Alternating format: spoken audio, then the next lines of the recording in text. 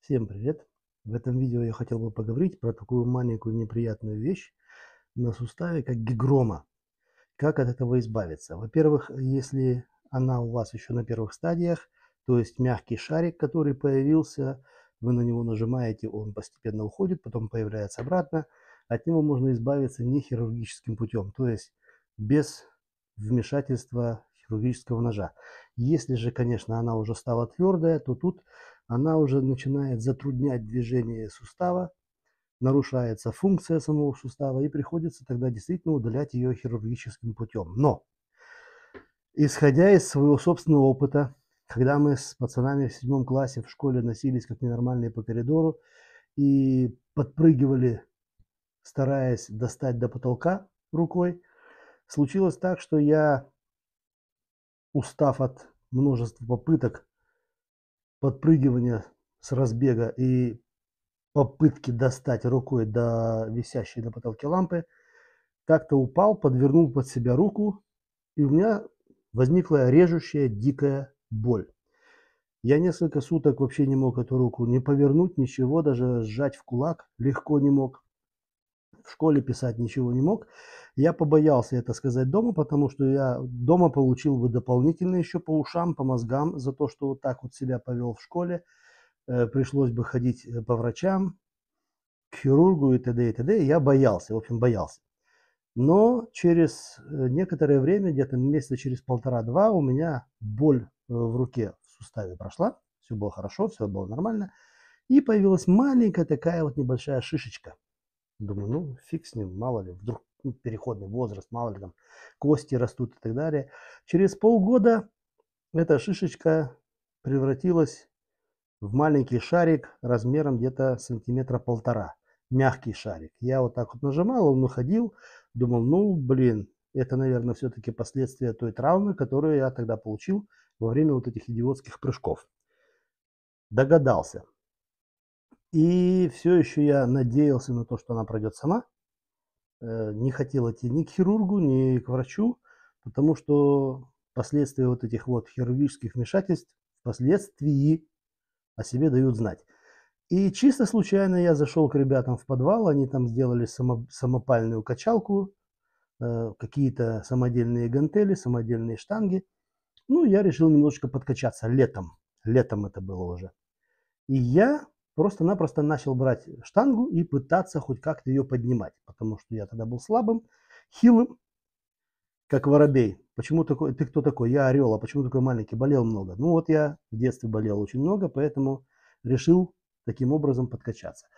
И через месяц таких вот э, потуг э, в этой вот подвальной качалке я заметил, что у меня вот эта вот шишка на руке стала пропадать то есть она стала э, в размерах намного меньше, чем была.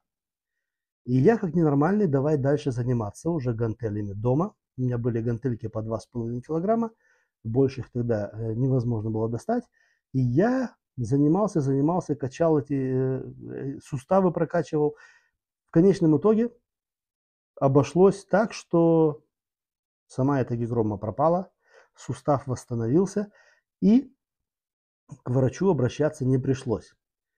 Значит, сейчас я вам просто-напросто покажу парочку упражнений для того, чтобы восстановить свой сустав после травмы, после последствий ушиба или перелома, если у вас вдруг возникла гигрома на суставе.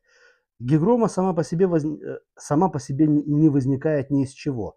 Это последствие неправильного скажем так, неудачного э, ушиба, неудачной травмы, э, выбивает межкостную жидкость в надкостницу и образуется такая вот капсула. Поначалу она мягкая, а потом она начинает твердеть, потому что все-таки межкостная жидкость, она содержит в себе тоже кальций и постепенно, если находится без движения, она затвердевает. затвердевает. И, само собой, нарушается функция сустава. Она бывает не только на запястье, она бывает на ладони, они, гигромы бывают даже на суставах пальцев. Многое зависит еще от вашей трудовой деятельности. Так вот, у меня сейчас здесь вот такая вот гантелька, пятерочка. Чтобы избавиться от возникшей, к примеру, здесь на суставе гигромы, вы берете в руку гантелю, вот так вот, и начинаете делать вот такие вот наклонные движения рукой. То есть вы садитесь на стул, в кресло, куда угодно, упираете руку локтем на ногу и делаете вот такие вот движения. Не 5-6 повторений, а пока рука не устанет. Минуты 3, 4, 5. Вот такие вот движения. Потом можете делать другой рукой, не повредит, будет только польза. Когда эта ваша травмированная рука уже отдохнула, вы перекладываете гантелю обратно в руку и начинаете делать вот такие вот движения. Подъемные для того, чтобы разработать сам сустав и укрепить связки и сухожилия этого сустава.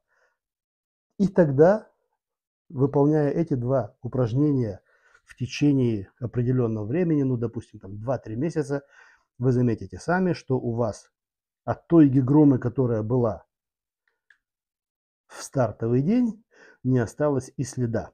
Этими же упражнениями, этими же упражнениями, только с добавлением некоторых других элементов, вот такое вот упражнение, вот такое вот упражнение, вращательная восьмерка, вот такое вот упражнение с наклоном руки и подъемом кисти вверх, здесь подъем, можно избавиться от туннельного синдрома.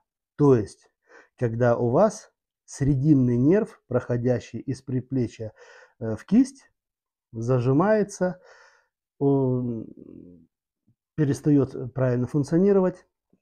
Срединным нервом мы чувствуем большой палец, указательный, средний и безымянный.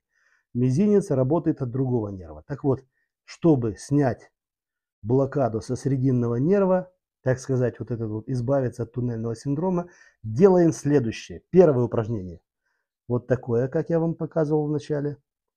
2-3 минуты как минимум. Переворачиваем руку. Делаем такие же движения, только вот в эту сторону. Потом, повернув руку, поворачиваем влево-вправо гантелю. Далее, опять же, вот такое вот упражнение, как я вам показывал при лечении гигромы. И восьмерочка. Эти упражнения желательно делать с двумя гантелями, чтобы руки работали синхронно. И тогда через некоторое время, пускай там пройдет месяца 3-4, от вашего туннельного синдрома не останется и следа. В следующем видео я вам покажу одно единственное упражнение. Оно действительно уникальное. И очень многие физиотерапевты, фитнес-тренеры просто-напросто выпускают его из внимания при лечении так называемого синдрома руки теннисиста. То есть, когда у вас сустав локтевой находится в ужасном состоянии, вы не можете нормально поднять руку, э, вы просыпаетесь утром, рука онемеет, вы ее не чувствуете от локтя до кончиков пальцев, она полностью немая. Проходит какое-то время, пока чувства все восстанавливаются. Так вот, чтобы избавиться от вот этого синдрома, существует одно интересное, уникальное упражнение. Какое? Подписывайтесь на канал, ставьте лайк, делитесь видео с друзьями, и я сниму видео, в котором покажу простейшее, уникальное упражнение, которое поможет вам избавиться от вот этих вот блокад и, э, как он по-русски, не знаю, как называется, по-немецки он теннис-арм, э, рука теннисиста вот это вот. Э, в, в локтевом суставе. В общем, всем удачи, не болейте, пока.